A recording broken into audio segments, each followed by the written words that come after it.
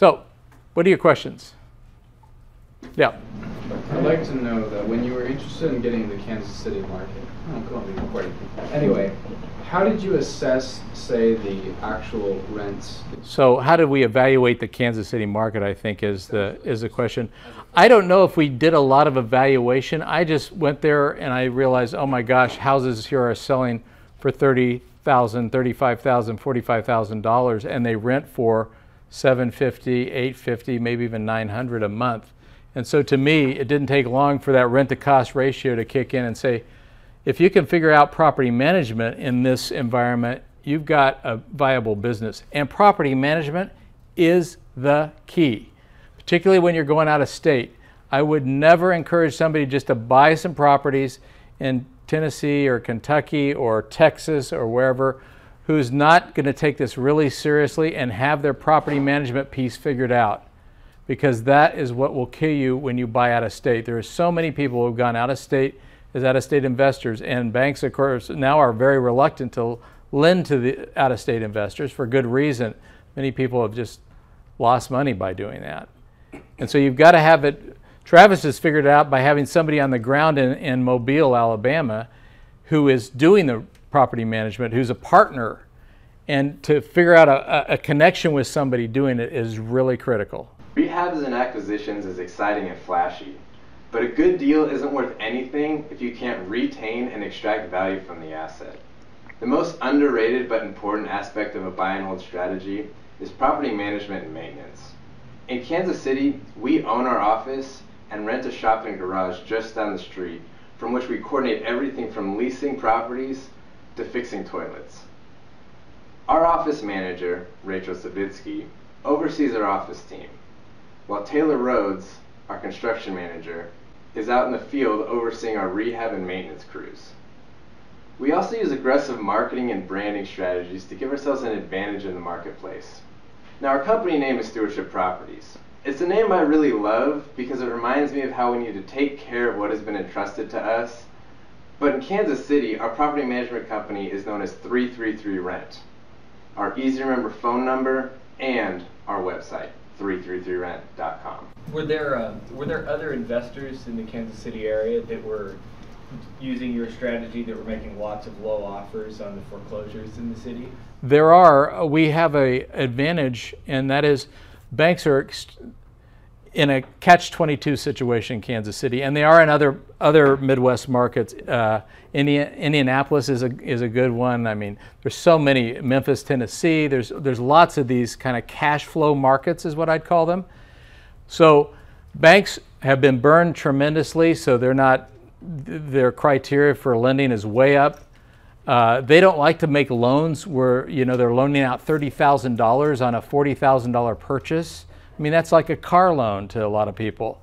Uh, they want it to season for a year to two years before they even loan on the property. So, I mean, now in that environment, cash is king. If you can find money from private lenders, then you can really grow a business, and that's what we've tried to do.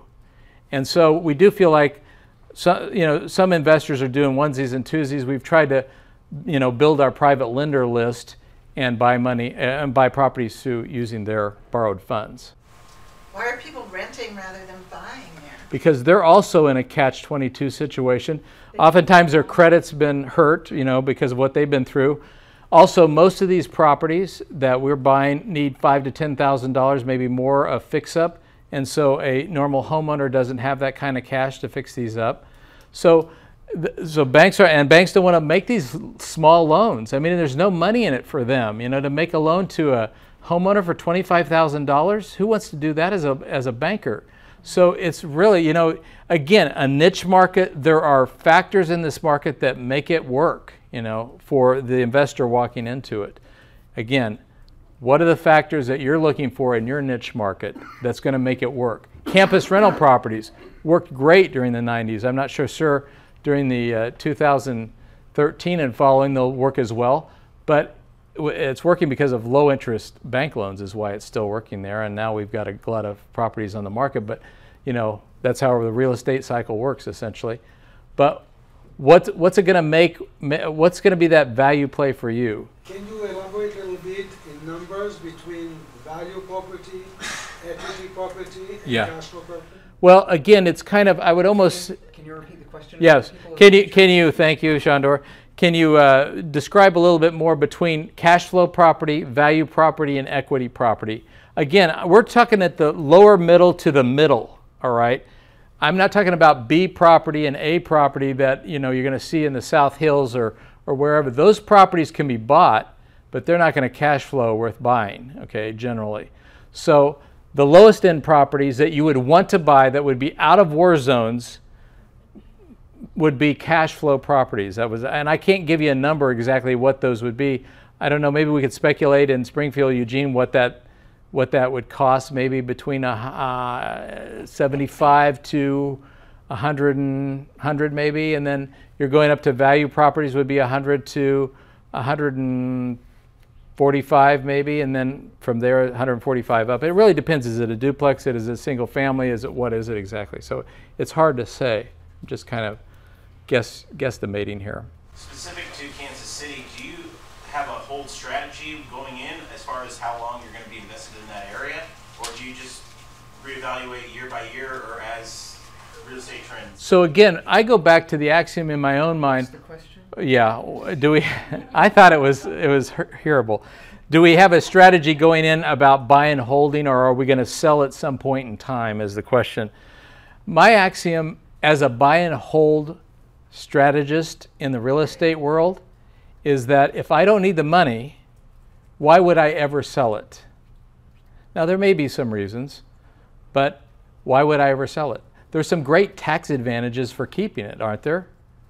You know, depreciation and so forth and so on. So, so uh, we don't have an endpoint in terms of se- selling these properties. Maybe we'll come to that. Uh, may, if there's other opportunities that you want the cash for, and you can't get it any other way but to sell this property, yes, that would necessitate a sale and it would make it worthwhile. Buy and flip is a complex operation because you have to be really good at buying, negotiating, marketing, all the things that go into buying.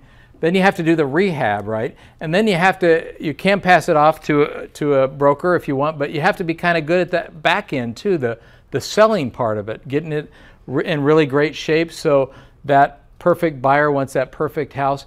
It's it's more complicated actually than the buy and hold market. The buy, what's complicated about buy and hold is finding the money how do you find the money to keep that machine move, going kind of thing and growing? Do you have all of your properties in a trust? I, I do yeah. We, we have it in a trust so do you? I have all of our properties in a trust and i would really encourage a trust at some level because you, you uh, avoid your kids avoid probate.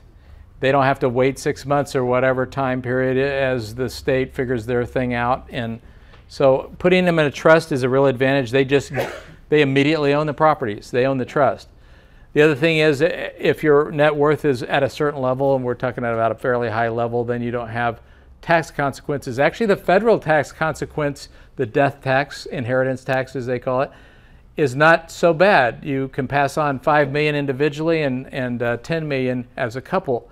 In Oregon, however, it's like at a million dollars or something. Their inheritance tax kicks in. If you've if you're if that's an issue for you, that's what's going to get you. You know, besides death, that'll get you too. But is that's what's going to get your kids is the Oregon inheritance tax, which kicks in way lower than the federal inheritance tax kicks in.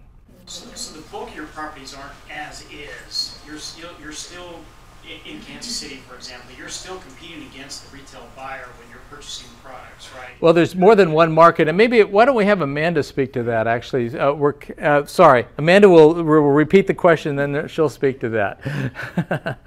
Come on up, Amanda. about competing with the retail market. Well, specifically, when you're talking about purchasing these homes at such reduced rates and only putting in six or seven thousand dollars worth of, of rehab money, um, they're relatively just cosmetic fixes, aren't they? It's not. We have our and so in the when in the beginning, see, and that's a good question. In the beginning, uh, we it was really easy to get those twenty. Actually, I mean, we bought things as low as fifteen thousand dollars that just needed that cosmetic. the the market's appreciated, and so our price point has moved up a bit. And then we also, um, you know, starting in 2011, we had um, one maintenance guy who was really unskilled. Um, we had a uh, construction crew that was not probably top of the line. Right now, I think we're running about six contractors, and we have uh, 10 full time staff that eight of them are doing like basically full time rehab. So we've upped our game as far as what we're doing. You know, we're more willing to go in and uh, finish basements, add bedrooms, put more money into the properties to add value because the properties are increasing in value. We can feel the appreciation in the market and competition. Um, you know, prices go up. We have to raise our offers, and so you know there are more people in the market that are competing at those prices. And so the great deals are fewer and further to come by, but the good deals are still out there. You know, every day. And some of you may even feel like, okay, it's hit the bottom here in Eugene and Springfield and it's starting to jump up. Of course, you never know a year from now where the real estate market is going to be, just like the stock market.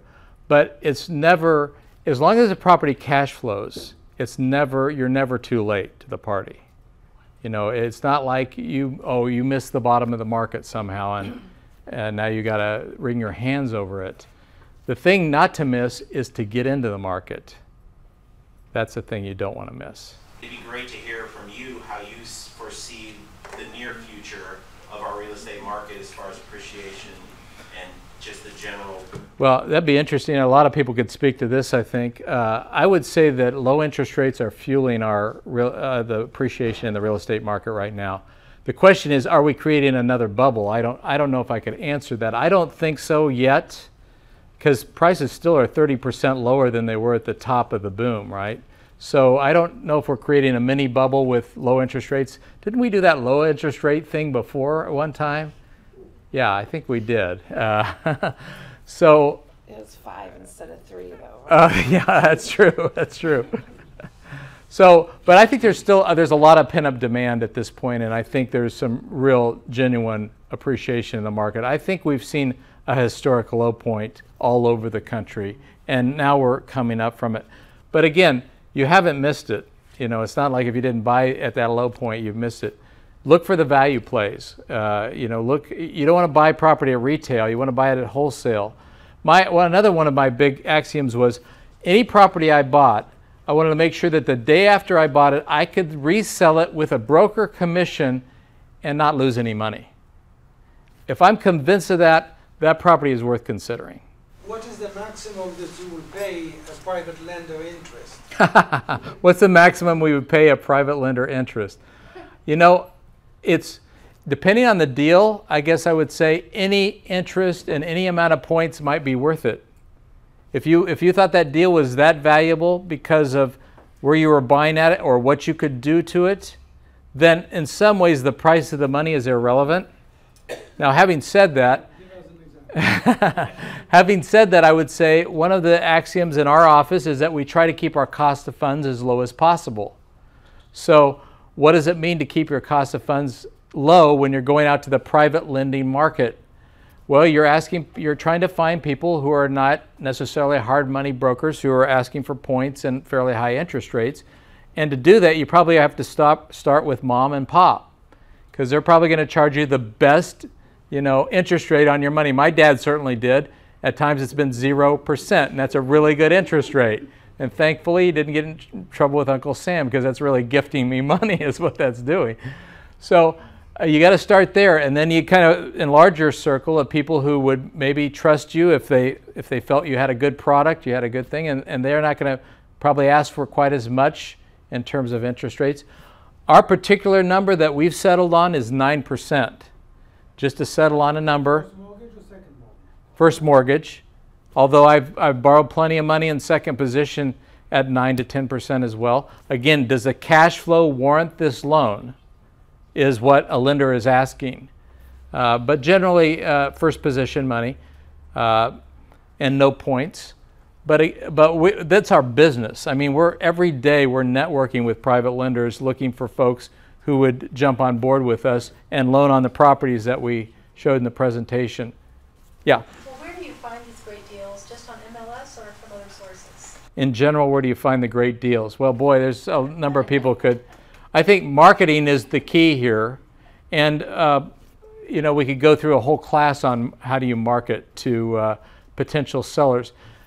If possible, you want sellers calling you.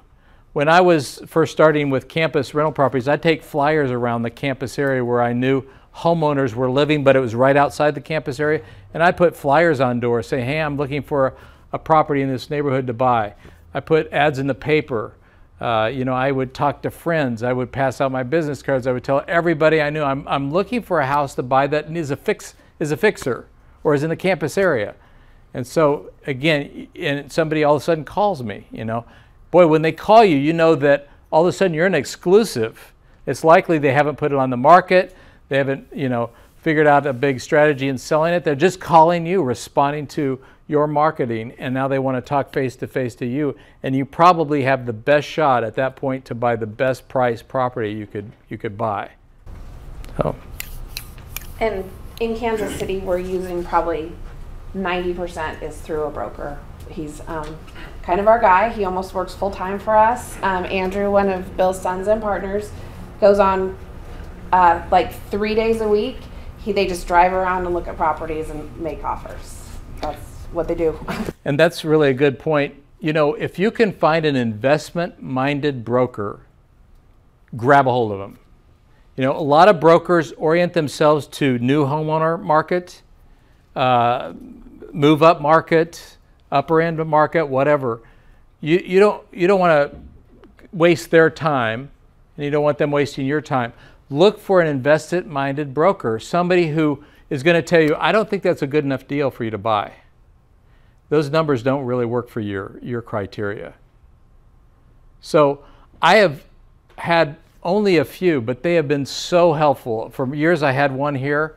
We had one in Salem, and we have one in Kansas City, and we've just kind of latched onto them. Like, you're our guy or you're our gal, because you know you you tell us what we want to hear, not what you you know to get the the sale or or some retail kind of purchase here but you know what we want, and you're always looking for it. So and they understand that we're not a one-time person in the market, and so it has to be good. They don't want to just make the sale; they want us to be successful because if we're successful, that means repeat business for them. So good point. They have to understand that. Yeah.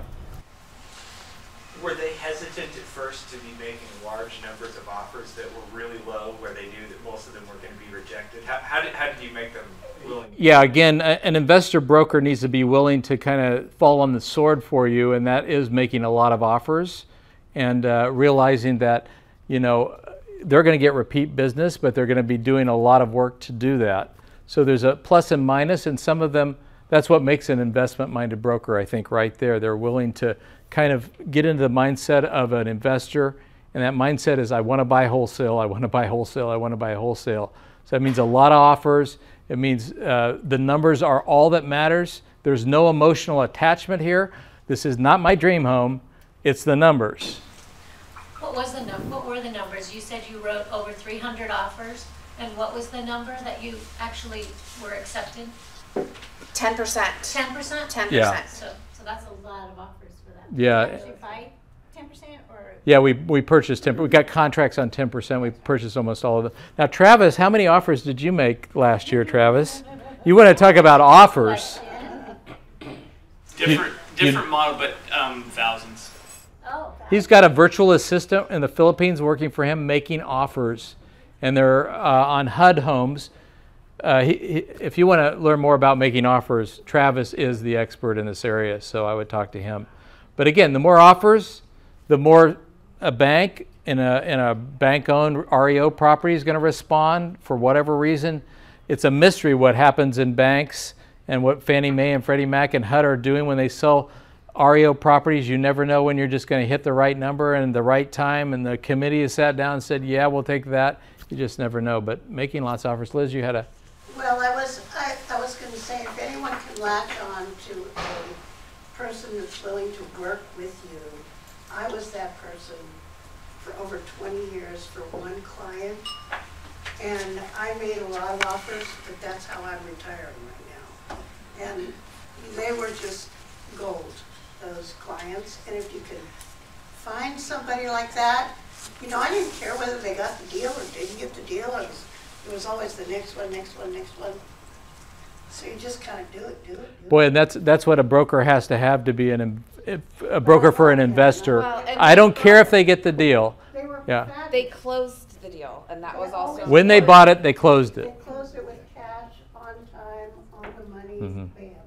And to curry favor with a broker and not waste their time, you've got to be ready to step up to the plate and, and make the purchase, close the deal, and move ahead. So you've got to keep your end of the bargain as well.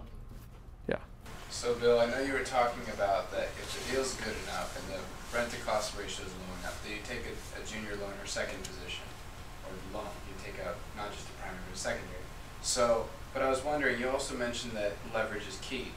So when you take out that loan on your first one, obviously you use private money, hard money, but on the second one, typically I found that when I talked to say versus capital, they would only Mhm. want to do seventy percent of what you're Right. to buy. So that remaining thirty percent, when you were starting out, did you, how did you fund that? Who did you go to, to so you could have maximum leverage? Well, that was, this was a different era when I was doing it back in the late 80s and early 90s. What, what did we do to basically fund our properties, particularly, okay, you still have to come up with 30%, 25 or 30%. How do you cover that amount of money? That is really a key question, too. How, because you just don't want to buy one deal, you want to buy that deal and buy the next deal. So, what are the strategies of coming up that? Well, maybe you're going to need a partner first, a person who's going to go in and they're going to get 50% of the deal, but they're going to bring the money. So, you know, if you got if you can connect yourself with a money partner and you're the guy who's going to be on the ground looking for the properties, do so. Uh, yeah, so what are some other strategies? So uh, another one is what kind of value play? I mean, making multiple offers is kind of a value play because when you hit one, it's such a good deal, hopefully, that you're going to have built-in equity from the start, more than 10%, maybe more than 20%, maybe more than 30% built-in equity from the day you buy it. That's a good deal. And all of a sudden, you can maybe borrow 100% from some people because you have built-in equity. That's key. Travis, do you have any other thoughts about that? About the thirty percent, um, the big key is getting it at a deep discount, because when we talk to private lenders, they go by the house, some of them, and they want comps. And so if the comps say sixty and you're asking for thirty-five or forty, Yeah. they're, they're fine. They're good. Yeah. You know, real estate investment starts with a good deal, maybe a great deal. That can't be overstated. You got to find the good and great deals. That's where it starts. That's where you can bring people onto your team, whether they're money, you know, they have money to help fund you or whatever. That's where it starts. Yeah, Leah, you had a. Thank you. Yeah, Leah says seller carryback. Again, that's not a bad, not every seller will do that. Not every seller can do that. I don't know if you've gotten into subject to the existing financing. This is a little interesting strategy, but uh, buying a property and building the trust level with a seller that they stay on the mortgage, but that you become owner of the property. It's you're buying it subject to their current loan. Boy, that I don't even want to talk about that with bankers here, but it's it's a strategy that can work. And uh, th- yeah, this is not a traditional lender over here, so uh, that's It's called a route. It's called a wrap around. yeah. We, we did it in the 80s because we had to do it basically, and then it kind of resurfaced here in the 2000s, that kind of strategy. We had to do it in the 80s because the interest rate was so high from traditional lenders that you had to find a way to wrap existing mortgages and keep that lower interest uh, for yourself, even though somebody was selling you the property, you wanted to keep their interest rate. The banker can call the loan. Yeah, it's possible. it Never happens, but it, yeah.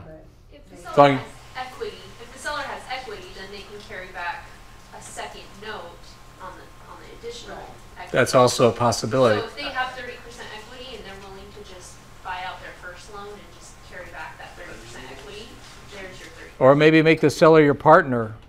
You know, that's a possibility as well. How do you do that, getting somebody with money to make him his partner? What is the formula? Because usually people want you to put money also.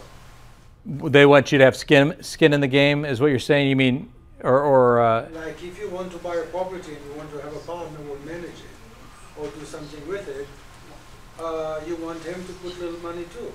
So how do, what is the formula? You know, I don't know if there is any formula. I think you just kind of make it up as you go along. So, whatever skills and abilities you bring to it, and if you have a partner, whatever skills and abilities they bring to it, who has the money, where you can get the money, who's, you know, I, I had a partner and his mother loaned us a bunch of money, uh, which allowed us to get into the property one time here in Eugene. And, you know, I, I didn't know his mom had money, but we were strategizing, strategizing how to buy this property together. He said, you know, my mom's got $120,000. She could loan on this. Okay, let's let's take that. You know, let's do that. So, yeah. That's an, that's an excellent point that you brought up because what I'd like to ask is when you don't go, when you go outside of established hard money private money how do you get that paperwork that makes everything legal and tax efficient? So they can, you can sign off, they can sign off. You know, come come come and talk to Amanda and I about that. We we can uh, help you through it. Travis could help you as well, I'm sure. That's the easy part of it. The the paperwork is by far not something to worry about because other people are expert at that. They can take care of it. You're going to have an escrow agent in your team.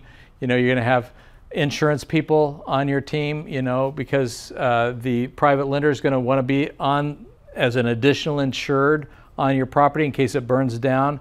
That you're just not going to take the the insurance money and go to Tahiti with it. They want to have a say in how it's used. So, you know, you're gonna have you're gonna have the expertise around you to, to make the paperwork work. Okay. Anything else? Well, thank you. We really appreciate the opportunity to be here with you.